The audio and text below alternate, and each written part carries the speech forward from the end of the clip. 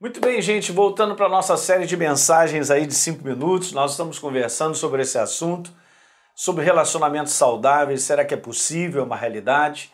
É uma utopia? Nos dias que nós estamos vivendo, dá para construir relacionamentos que, que, que são saudáveis? E a gente vem conversando sobre esse assunto aí. É obviamente, como eu disse, o mundo está pior.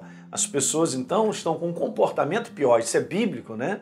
Eu falei aqui não só de Mateus capítulo 24, que Jesus disse né, para os discípulos que um, esse fim dos tempos seria marcado por um relacionamento muito difícil. As pessoas odiariam, é, trairiam umas às outras, se ofenderiam com facilidade, mas nós temos que ficar firmes. Né? Ele disse que o amor se esfriaria de quase todos e também nós lemos uma passagem lá de 2 Timóteo falando sobre o comportamento das pessoas. Então, lembra de algo que eu disse para vocês e aqui a gente vai continuar de que desenvolver a habilidade de se relacionar, ela precisa, ela exige de nós mudanças primeiro na nossa vida.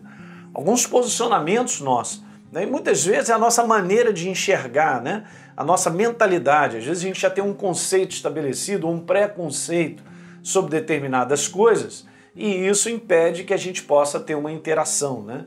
A gente vai ver várias coisas para frente, mas por exemplo, às vezes hoje só de conviver com opiniões diferentes, isso aí pode separar, cara. E será que a gente não dá para conviver com opiniões diferentes? Bom, a gente tem que seguir adiante. Então, ninguém nasce pronto para se relacionar. Bom, é, uma, é um negócio legal para a gente aprender. Então eu, eu, eu nasci e agora está tudo certo? Não, não está tudo certo. Nós temos que aprender a nos relacionar. Então ninguém nasce pronto para se relacionar.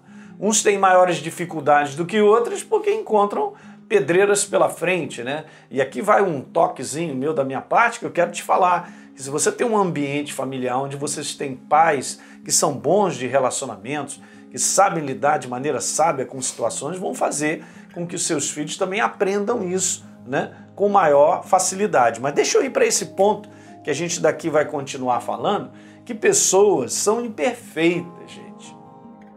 Preste minha atenção.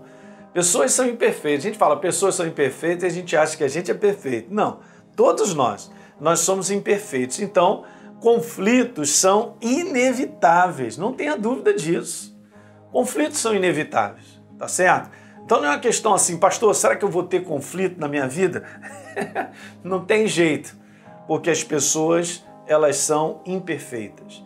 Agora, como eu lido com os conflitos vai fazer uma grande diferença. Vai fazer uma grande diferença, gente. Tá certo?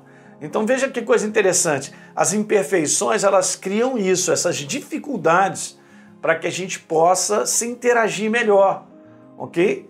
Mas nós temos que lidar com isso de maneira própria. O nosso maior, talvez, defeito seja esse, não ver os nossos próprios defeitos.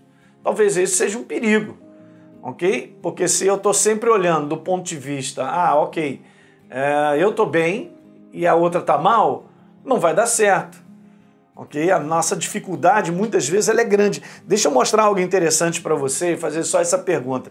Nos relacionamentos que eu e você nós temos, veja só, seja casa, trabalho, igreja, amigos, né? Que muitas vezes são complicados, quem geralmente é o problema? Você já reparou?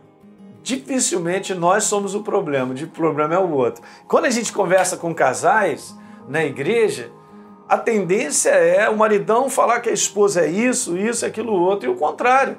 Essa é a tendência, a gente vê isso na prática. Obviamente tem os dois lados da moeda, mas é difícil alguém chegar e conversar comigo, chegar, pastor, eu quero falar, olha só, toda a situação familiar, que está acontecendo lá em casa é por causa da minha pessoa. Eu sou isso, eu sou aquilo outro, eu tenho feito isso, eu tenho feito aquilo outro. Meu comportamento é muito raro encontrarmos isso. O que seria legal, porque se a pessoa está identificando que ela erra, que ela é falha e que ela tem um posicionamento que está prejudicando, então nós já chegamos lá. Porque essa é uma claridade importante, ok? E às vezes não é a outra pessoa, mas sou eu Eu é que acredito que ela tem que ser assim, tem que ser assada. E isso, gente, causa muitos problemas, não tenha dúvida, tá certo? Então, identificar é, o nosso, nosso defeito é importante, não para que a gente seja condenado e a gente fique no massacre, mas é que se eu identifico um erro, então eu quero acertar. Se eu identifico um posicionamento que está errado dentro da minha casa no meu trabalho, vamos mudar, cara. Nós temos que mudar. Nós temos que fazer a escolha de mudar. Isso é importante. Legal? Então dá aí uma, um like no nosso vídeo, se inscreve no nosso canal e, por favor, deixe um comentário, porque isso é importante para todos nós. Um grande abraço.